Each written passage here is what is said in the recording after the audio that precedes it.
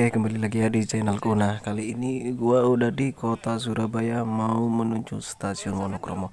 Nah, perjalanan kali ini mau menuju kota Kebumen. Well, bagaimana ya? Naik kereta ke kota Kebumen. Nah, kita saksikan aja ya videonya ya. Nah, kali ini udah di stasiun Wonokromo ya. Ini di peronnya kita tinggal menunggu kedatangan kereta api Logawa. Sebentar lagi kereta api Logawa datang di stasiun Wonokromo.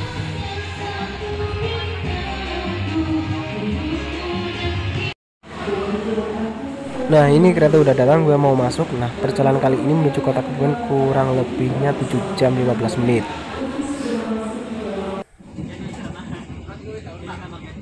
Nah kali ini kereta sudah mulai start dari Surabaya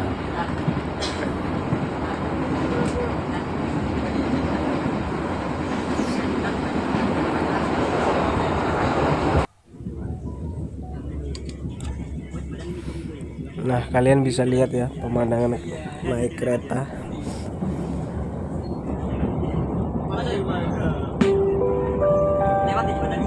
Selamat siang, pelanggan yang kami hormati.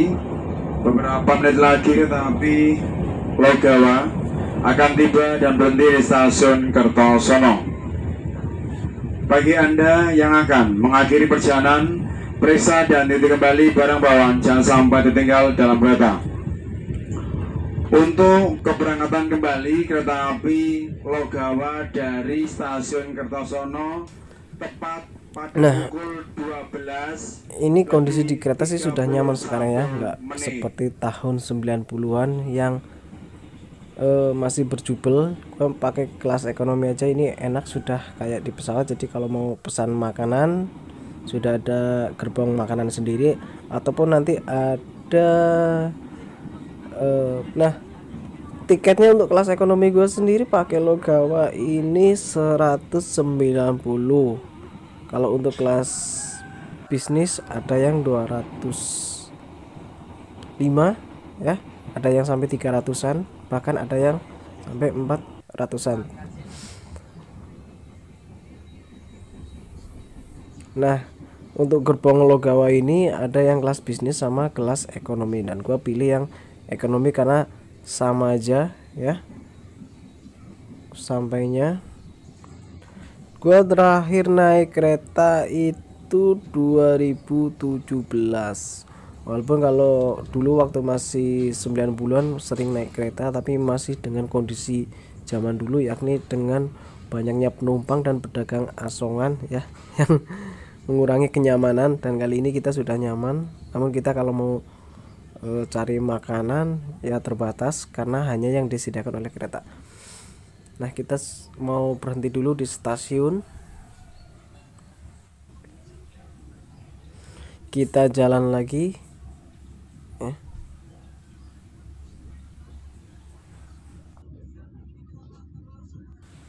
Nah, kita keluar dari stasiun Sragen, kita lanjut perjalanan menuju ke Bumen. Ini udah sore juga ya.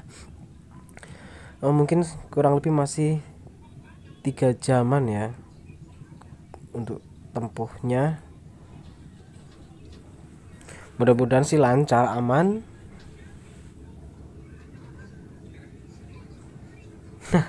ini bedanya kita ya di jauh dari pemandangan yang enak ya. Ini di sampingnya ada perkampungan ya di balik pagar ada perkampungan warga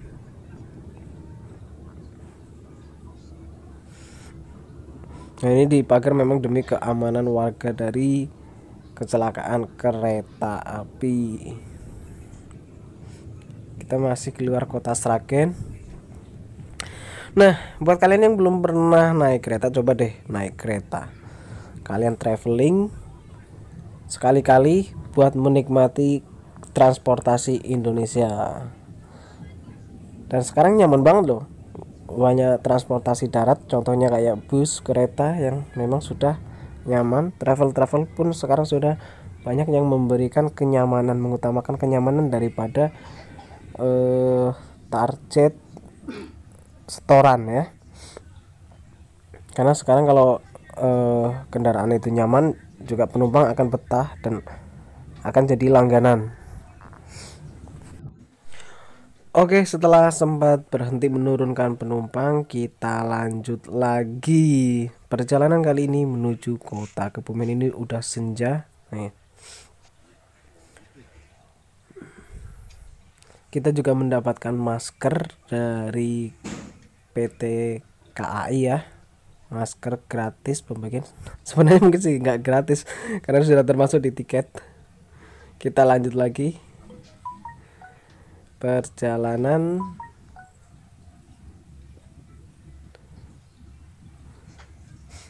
Uh, gua gua masih belum bosan sih sebenarnya. Kalau bisa gua pengen tembus sampai Jakarta tapi berhubung karena keadaan dan kondisional yang memang nggak bisa jalan-jalan jauh ya. Jadi cukup uh, sampai di kampung halaman di kota Kebumen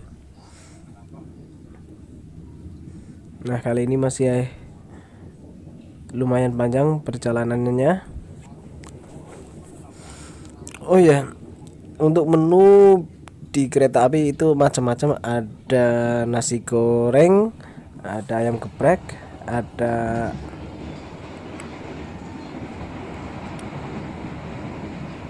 ayam kremes ya, ayam, ayam crispy macam fried chicken. Nah, untuk harganya sendiri di angka 28.000 termasuk murah sih. Kalau kalau gua yang dari Kalimantan termasuk murah ini. Untuk harga segitu berbeda kalau misalnya mungkin yang terbiasa di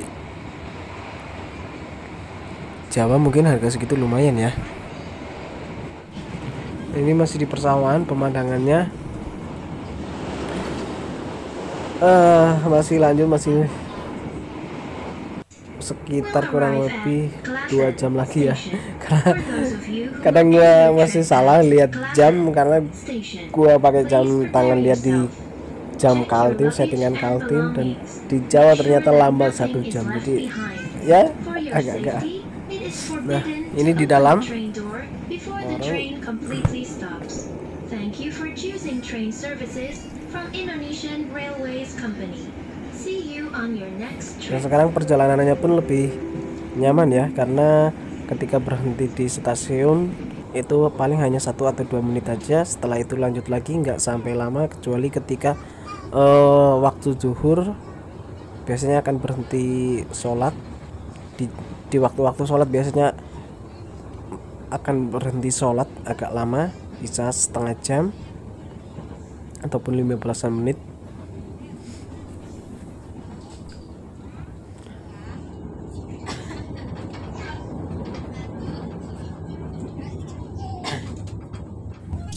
Sebentar lagi kita akan masuk stasiun Klaten, Jawa Tengah.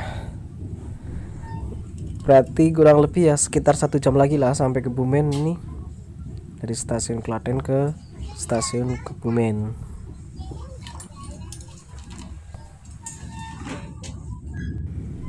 Nah, setelah lanjut dari stasiun Klaten, kita sampai di kota Yogyakarta. Nah, ini relnya berada di atas jalan raya ya. Dan ini pemandangannya lumayan, bisa melihat pemandangan perumahan kota Yogyakarta. Nah, kita di sini akan berhenti sebentar untuk menurunkan penumpang infonya sih ya. Biasanya di stasiun Yogyakarta stasiun Yogyakarta ya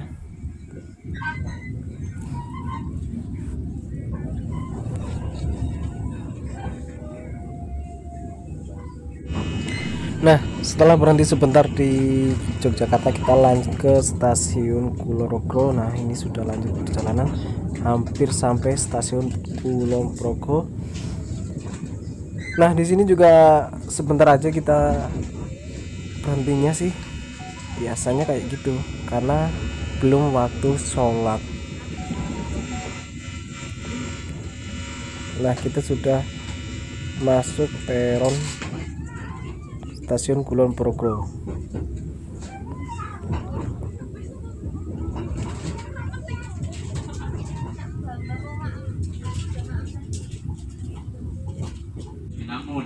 Setelah lanjut dari stasiun Kulon Progo kita lanjut ke stasiun Kutoarjo dan juga stasiun Kuto Winangun nah selanjutnya ini kita jalan lagi mau menuju ke stasiun Kebumen. Bentar lagi sampai. Senang banget gua rasanya udah mau sampai ke kampung halaman atau tanah kelahiran nah pas banget ini. Jadi sampai jam 6 ya karena ini jam Kaltim jadi jam 19 tapi kalau di Jawa masih jam 18 pas banget ini. Sudah sampai di stasiun Kebumen. Nah gua mau turun ini ya. Nah tetap ikuti sampai selesai ya. Kita lihat kondisi stasiunnya. Perjalanannya cukup membosankan ya sebenarnya karena uh, sepi sebenarnya karena sepi penumpang jadi nggak ada yang diajak ngobrol. Nah ini sudah sampai di stasiun Kebumen. Oke selamat datang di kota Kebumen. Nah ini perjalanannya tapi nggak nggak bikin capek sih cuma bosan aja karena kebetulan lubang sepi ya. Jadi bahkan kalau gua mau tiduran di kursi sebenarnya bisa. Nah, kita tinggal mau menunggu jemputan ya. Kebetulan ada kawan kawan sejak kecil sih kawan sejak kecil udah nungguin. Udah siap buat jemput. Nah dan ini termasuk sobat kental gua ya yang dari kecil sampai sekarang. Bahkan ketika pulang pun selalu ketemuan. Ya oke. okay. Paling itu aja ya ngetrip kali ini long trip bener-bener long trip pengalaman naik kereta. Tapi gue sih bagus aja sih ya buat kereta api Indonesia sudah banyak perbaikan. Dan semoga maju terus jaya terus